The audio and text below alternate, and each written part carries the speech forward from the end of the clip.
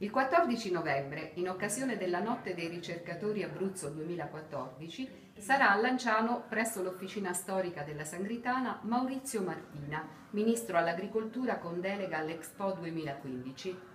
Tu hai la possibilità di rivolgere al Ministro una domanda sul tema Il futuro dei giovani nelle professioni della terra. Cosa vuoi chiedere al Ministro? Gentile Ministro, quali vantaggi possono trarre le aziende del comparto agroalimentare ed i giovani imprenditori agricoli dall'utilizzo del web, della digitalizzazione ed in generale dall'uso del social media marketing?